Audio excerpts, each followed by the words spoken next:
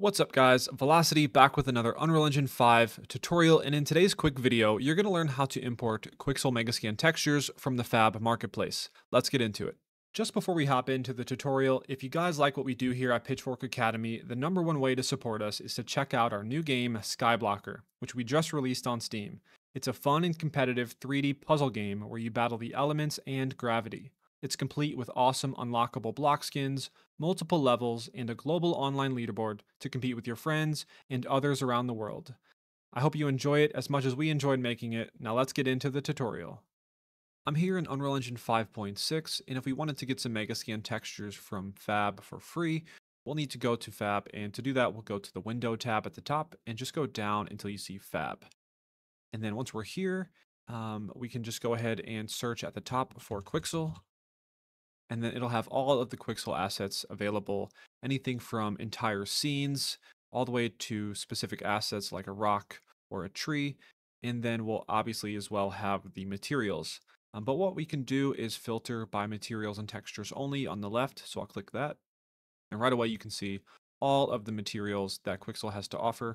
But unfortunately, when they switched from the Quixel Bridge plugin method to Fab, they did raise the price on some of the materials. For example, a lot of these are 99 cents, but there's still a ton that are free. So we can filter by uh, price here. So I'll click that and then click free.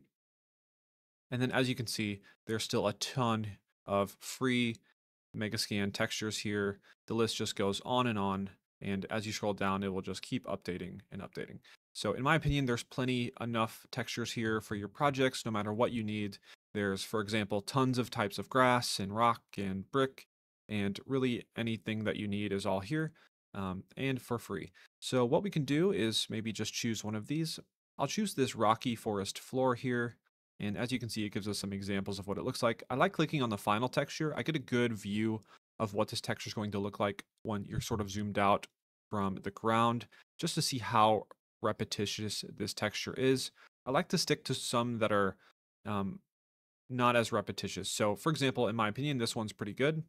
The only repetition I really see is this big rock here, but when you're zoomed out and you maybe blend mm-hmm. this with another texture, you can hardly even notice. So on the right here, you'll notice that we have a quality dropdown and the high quality is going to be the one that I recommend, which is going to be 4096. The raw quality is 8K or 8192. Medium quality is 2K or 20 uh, 48, and low quality is 1024 or 1K.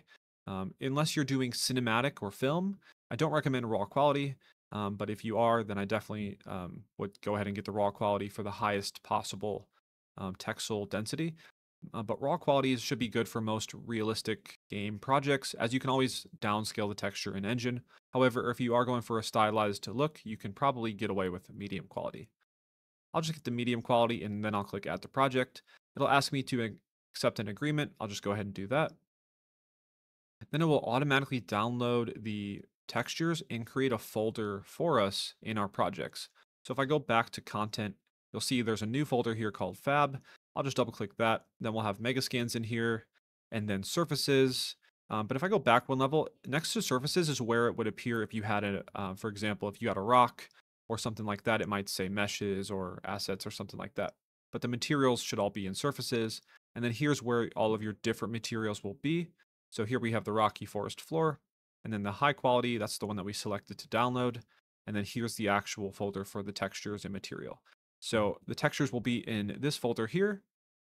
And then the material is right here. So this is um, an example of the material that they give from Megascans. It uses the Megascan master material. In my opinion, it's not that great because um, it doesn't have as much customization as you might like.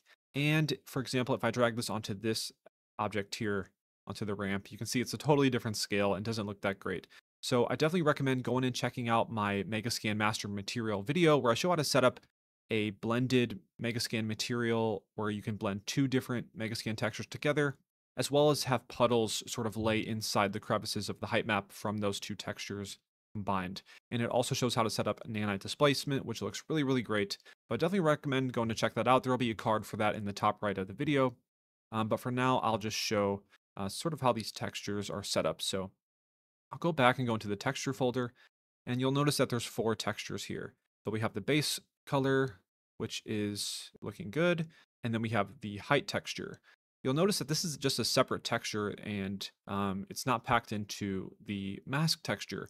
In the old Quixel Megascan plugin, there was um, usually they had the height maps built into the OR texture. It used to be called an ORD, so you might be used to that, but now it is its own standalone texture. And then we have the normal map here, pretty standard, and then the ORM texture. This stands for occlusion or ambient occlusion, and then roughness, and then metallic. So if I uncheck the G and the B channel, we can see just the red channel, which is the ambient occlusion. That's the sort of self-shadowing inside the crevices of the rocks. That's pretty great. And then the G channel, that's the roughness. You can see some slight uh, variation in there for how rough the surface should be. And then the metallic. You'll notice that this is totally blank.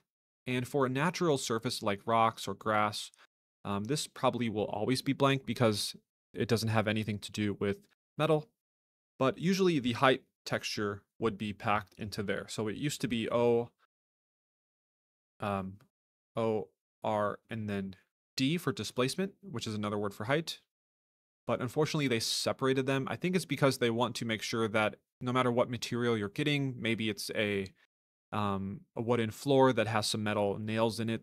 They, you know, that would be in the you would see little nail heads here in this texture. So they they did it so it's all combined into one system. But if you guys are interested in learning how to create a pack texture, for example, like this texture here, this ORM with the different things in the different channels, leave a comment down below. I can definitely make a video on that subject. It's called texture packing.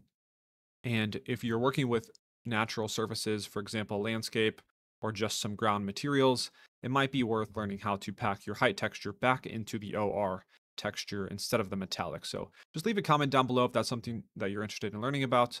Um, but we can continue on here. So I'll um, really quickly, I'll go back to Fab and we'll just get another example texture.